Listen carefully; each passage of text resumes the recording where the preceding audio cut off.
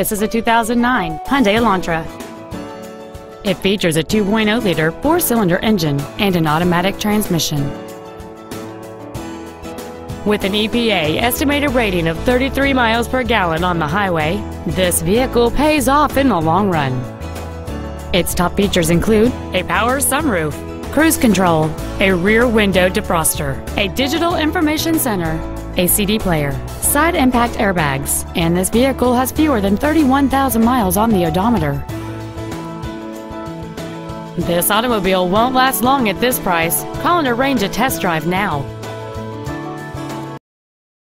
James Wood Auto Park is located at 3906 Interstate 35E South in Denton. Our goal is to exceed all of your expectations to ensure that you'll return for future visits.